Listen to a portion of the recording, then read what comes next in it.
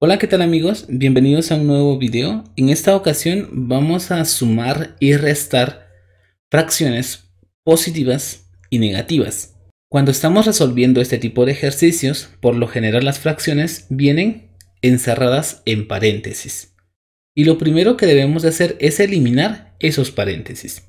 A la izquierda del primer paréntesis encontramos un signo más, que por lo general no se pone, pero ahí está.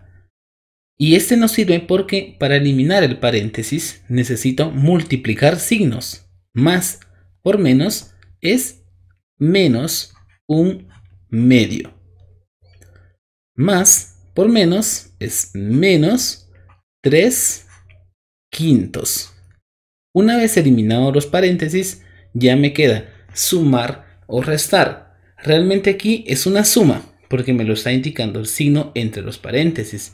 Pero eso puede cambiar al final, porque la suma o la resta en fracciones depende de los signos. Si los signos son iguales, se suman. Si los signos son diferentes, se van a restar. En este caso tengo dos fracciones con signos iguales. Se van a sumar estas fracciones. Y el procedimiento que voy a utilizar para hacer la operación es la multiplicación cruzada o la carita feliz. También podemos utilizar el mínimo común múltiplo para sumar o restar fracciones. En este caso, como solamente son dos, se me hace más fácil utilizar este método. Multiplico 2 por 5. 2 por 5 es igual a 10, así que coloco 10 en el denominador. Luego 5 por 1. 5 por 1 es 5, pero es negativo, así que coloco menos. Multiplico 2 por 3. 2 por 3 es 6. Y coloco el signo menos. Signos iguales se suman y se conserva el signo. Por lo tanto, 5 más 6 es 11. Partido 10. Pero se conserva el signo, por lo tanto será menos 11 décimos. Debo de simplificar esta fracción pero menos 11 décimos ya no se puede simplificar. Así que la voy a dejar como respuesta. Menos 11 décimos será la respuesta a la suma de las fracciones menos un medio más menos 3 quintos. Veamos ahora esta resta de fracciones. Primero voy a colocar el signo más antes del paréntesis y multiplico los signos para eliminar los paréntesis. Más por menos es menos. 3 cuartos. Menos por menos da más. Y copio la fracción. 5 medios.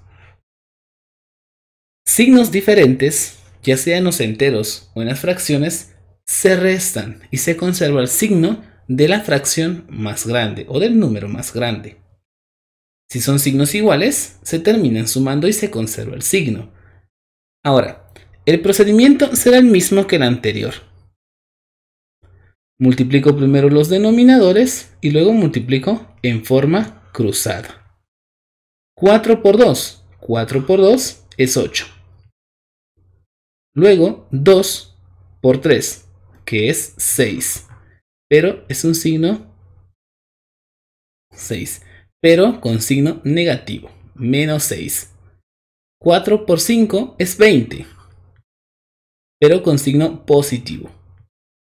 Signos diferentes se restan y se conserva el signo del número mayor, en este caso el signo más, que es el signo del 20. 20 menos 6 me da 14. Partido 8. Signo que se conserva, el más. Simplificamos esta fracción. Veo que ambos números tienen mitad. Así que saco mitad en el numerador y es 7. Saco mitad en el denominador y la mitad de 8 es 4.